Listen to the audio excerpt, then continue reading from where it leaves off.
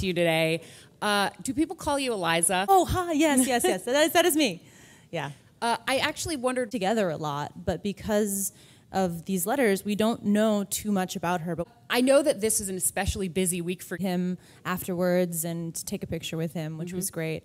You know, we have like, you know, a long time. But um, no, we have this amazing dressing room situation where it's my dressing room and Jasmine's and Renee's in this little suite. And it kind of feels like our dorm room sorority or something like that. It's, it's really fun.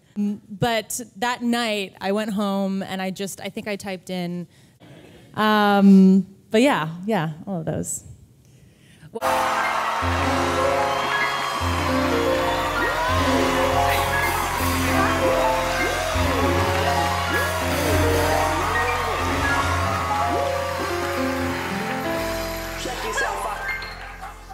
Uh, congratulations on Amelie. Thank you. Are, you. are, you sorry you missed all the suffering years that no, young actresses normally have? Because at 26, I was levels, and and you know there was kind of like a saying floating around the theater, which was like it's a train, and you can kind of jump on at any point. My abilities.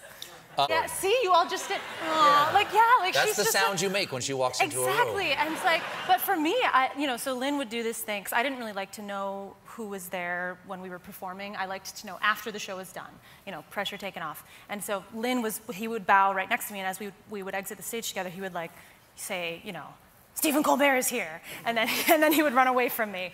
So that, so that evening, he said, Julie Andrews is here. And I went, really? She's really here? And he's like, yeah. And then I would walk down underneath the stage to get up to my dressing room, and I was like singing, spoonful of sugar. I was like so excited to meet her. And then, like, when I finally got down to the stage to meet her, I just like, I couldn't stop smiling. My cheeks were hurting. I was smiling so much, but I didn't want to stop smiling. Sure. Well, you can't around her. Right, exactly. It's but, everything you expect Julie Andrews to be. Yes, and she's more. so poised yes. and beautiful and like a gift to us all in terms of an artist, yeah. right? Ah, the alpha uterus triumphs. We've officially synced. You know I don't- No, I can't help you work it. From 1994. I've got 10 regular absorbance perfect for those skinny jean pockets. One top grade latex. Oh my gosh, that's me. but I said you're free to go. While shouting in the square. I was so moved. It was so beautifully shot. So honored to be among the many women on that list that I just posted. Pretty cool.